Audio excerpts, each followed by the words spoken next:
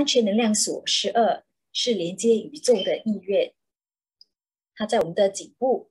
我们可以用两只手按这几项，或是交叉手，或者你可以按住背部的几项，然后尾椎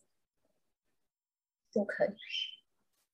只要感觉舒服，我们也可以用中指来帮助我们打开安全能量锁十二